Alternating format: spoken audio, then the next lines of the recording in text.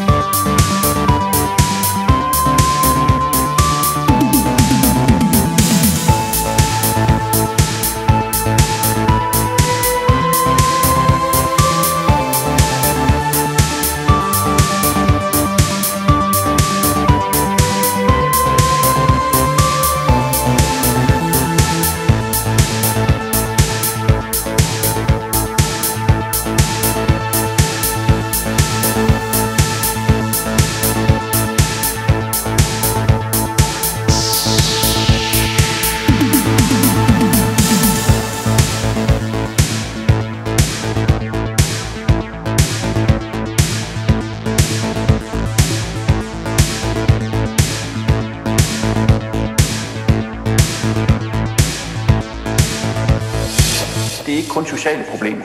Det er også et, et kulturelle, civilisatoriske problemer, der, der er på spil her. Så det er ikke noget, vi bare kan løse ved at manipulere med de sociale omstændigheder, og så pludselig så lever vi i fred og fordragelighed. Der er nogle kulturelle, civilisatoriske problematikker, som måske øh, ja, er uløselige, men som vi bliver nødt til at håndtere på en eller anden måde.